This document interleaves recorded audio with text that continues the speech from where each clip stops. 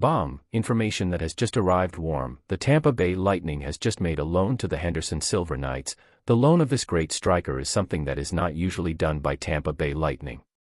Suddenly, and if you want to know everything firsthand, subscribe to the channel so you don't miss the result of that loan. In a move you don't see all that often, the Tampa Bay Lightning announced that they have reassigned forward Gemel Smith to the Henderson Silver Knights of the AHL. Note that this was not a trade and the Lightning retain the rights to Smith if they need to recall him to the NHL, nor do they receive any compensation from Henderson or his NHL affiliate partner, the Vegas Golden Knights. It's been an odd couple of seasons for the veteran center.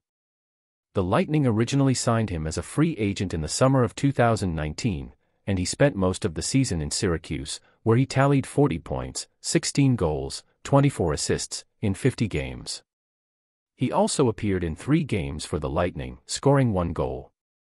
Already like this video so you don't miss the latest Tampa Bay Lightning news firsthand the next season was the COVID-shortened 2020-21 season where Smith spent most of the season on the Lightning's taxi squad and he appeared on just eight goals between the Crunch and Lightning all season.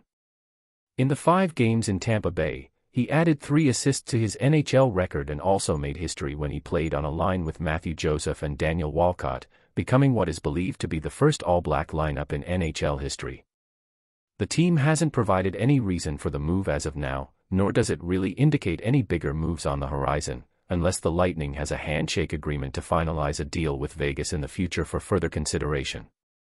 As we mentioned, Smith is still under contract with the Lightning, so if they need to recall him due to injury, they can.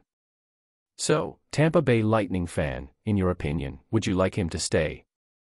In your opinion, was or was not this passage decisive for the team? Put your opinion in the comments, because your comment is very important for Hiquiai as a whole. Do not forget to subscribe to the channel, because at any time I will bring the unfold this information exclusively.